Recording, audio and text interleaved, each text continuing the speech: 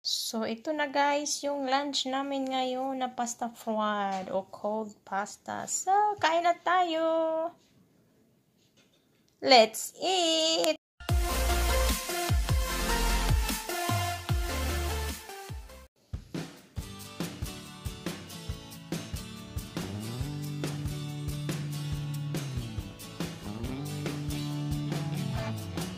So guys, ito yung lunch namin ngayon. Very simple na lunch.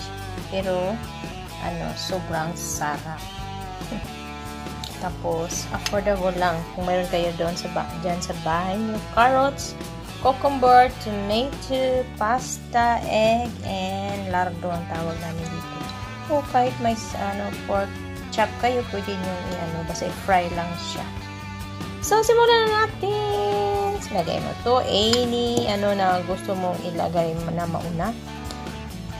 Either this one, yung vegetable, or yung tomato. Fruit man yung tomato. Box. Ito na. So, ito na guys. Ako, lagay ko yung lardo. Kasi, pag hinahalo-halo ko yan,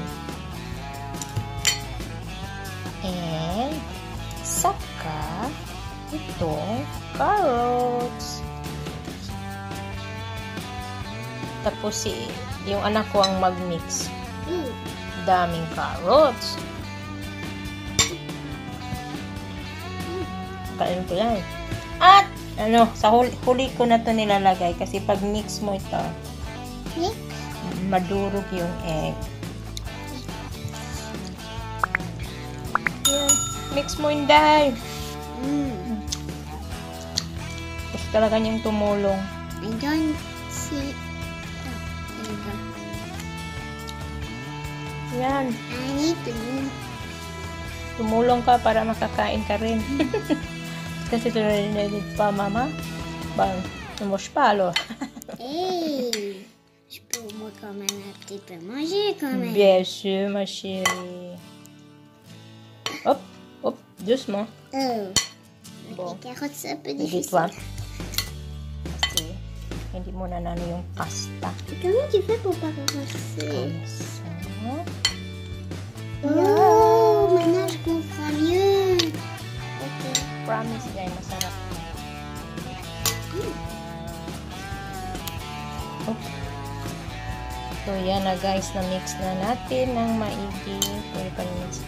Tapos, lagyan lang ng konting asin. Kasi kung yung lardo nyo, yung pork nyo is, ay, ano na, maalat, no need na. Tapos, pagluto nyo ng pasta, nilagyan nyo ng asin, no need na nalagyan talaga ng asin. Kanina, hindi ko nilagay yung pasta na, na salt. So, yan. Tapos, bigyan na din na magpapa sobrang sarap niya. Yung mayonnaise.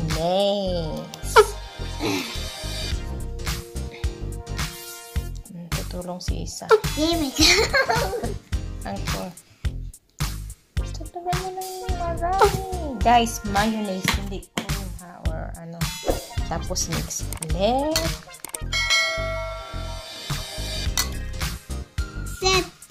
Ito yung pinapabaon ko sa asawa ko at ng anak ko noon. So beautiful. I want to Kadalasan eat. kasi, di ba, may meat na, may vegetable na carrot, like cucumber, tsaka may fruit na tomato, may egg din. Kailangan natin yung egg. Diba? Simple. Kasi, kasi meron naman doon sa labas, doon sa tindahan kung after we gonna put that no?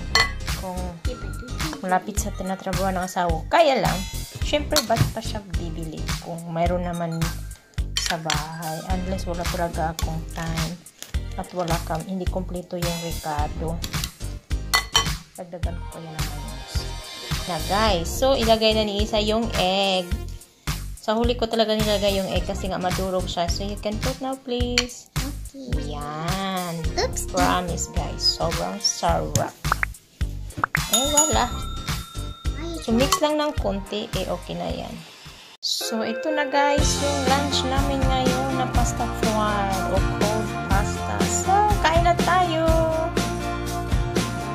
Let's!